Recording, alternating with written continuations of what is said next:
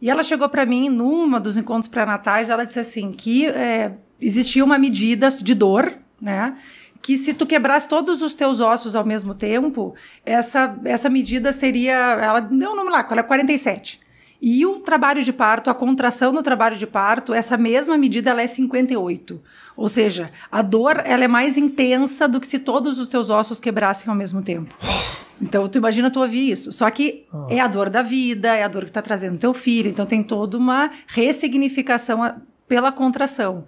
Em relação às imagens, em relação aos relatos, né? Tudo tem seu lado positivo e seu lado negativo. É, da mesma mas da mesma forma que tem os relatos de violência, como aconteceu né, com aquela modelo, né, com a Chantal e do, do, tudo que ela passou, que é um médico aqui de São Paulo, que isso gerou toda uma discussão na internet da violência que ela sofreu no parto. O que aconteceu? Não tu sei. não viu sobre isso? Não, desculpa. Não, é uma modelo famosa, okay. se chama Chantal, e ela teve um parto com um médico bem famoso, que era um médico referência da humanização, que estava sempre na, no, nos jornais, dando muita entrevista falando sobre esse assunto. E o parto dela foi filmado, né? O marido, acredito que filmou com aquelas câmeras de cabeça, e ela não assistiu, ela entendeu que o parto dela tinha sido difícil, ela não assistiu, é uma influencer bem famosa, assim. E Brasileira? Aí, sim, daqui de São Paulo. Quatro meses depois, ela resolveu acessar os vídeos do parto e ela viu o médico xingando, chamando de viadinha, viadinha não faz força, é, sendo assim, cometendo diversas violências verbais com a criança e com ela durante o parto.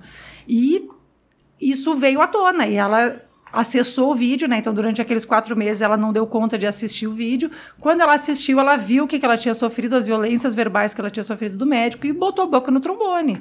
E aí, então, os vídeos do parto começaram a rolar pela internet. Nossa. Não, não, não, não, não viu vi, isso? Desculpa. E aí, não. E aí, a própria enfermeira, que era uma enfermeira que estava no parto, disse que teve que sair para o carro e começou a chorar e não sabia o que fazer, porque, assim, todo mundo foi é, protagonista dessa violência que ela sofreu, entendeu? E aí ela não resolveu botar a boca no trombone. O cara, assim, acabou com a carreira do, do médico, né? E aí outras vieram. Mas o, o pai estava perto? Tava, tava. Ele que tudo, filmou. Ele que filmou, ele que filmou o, o parto.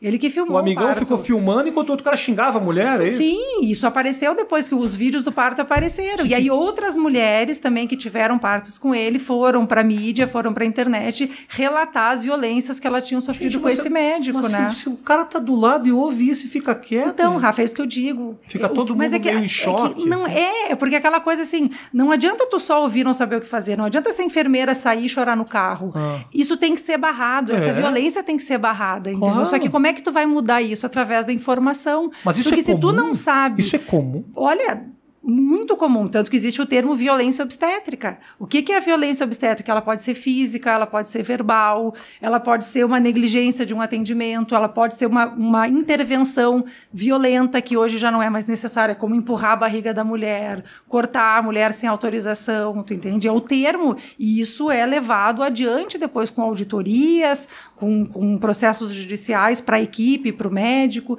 tanto que o plano de parto, que é o documento que essa família tem, principalmente principalmente a família que vai ter o seu bebê num hospital público, é o único documento que ela tem que resguarda as, as, as opções que ela quer para o parto dela.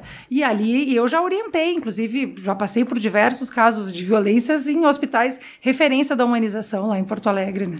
Então, assim, anota o nome do profissional, de quem te atendeu, pega o nome, leva para uma auditoria, leva adiante para que isso seja coibido. Isso não pode acontecer. Né? Então, assim, a mulher está lá num momento super vulnerável, Sim. né? Totalmente sem defesas. E aconteceu, assim, ó, duas semanas atrás de uma gestante que eu acompanhei, o bebê estava para nascer e estava demorando um pouco para nascer, e o médico queria cortar. Cortar é uma episiotomia, que é um corte que se faz transversal, assim, na musculatura para abreviar o nascimento, né?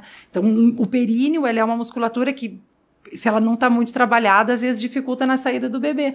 Então, antigamente, isso era até protocolar de se cortar esse, essa musculatura, né? Um corte que chama episiotomia. Isso não é mais realizado hoje em dia. Né? Tem médicos que estão três, quatro anos atendendo mil partos por ano e não fazem episiotomia, ou seja, ela não é necessária. Uhum. E aí ela disse, o médico falou, eu vou cortar. E o pai disse, no nosso plano de parto a gente não queria que cortasse. E ela ali, naquela situação, falou, doutor, eu não quero. E ele disse, então eu vou embora. Se eu não te cortar, eu vou embora.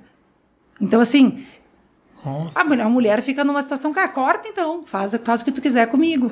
Tu entende? E aí, como é que fica essa mulher depois desse parto? E ela estava cheia de hematomas, ficou com hematoma, da força que fizeram para tirar o bebê, entendeu? Empurrando barriga, dizendo que se ela não cortasse o bebê ia morrer. Então, assim, é, claro, existem intervenções que são necessárias, elas estão ali para salvar a vida do bebê. Então, que nem a, algumas casais perguntam para mim: ah, se acontecer no caso de uma intervenção, tu vai lá e tu vai falar com o médico? Esse não é o meu papel. Eu não vou intervir na conduta de um profissional. E não é isso que eu estou fazendo ali. Eu estou ali para dar um apoio para a família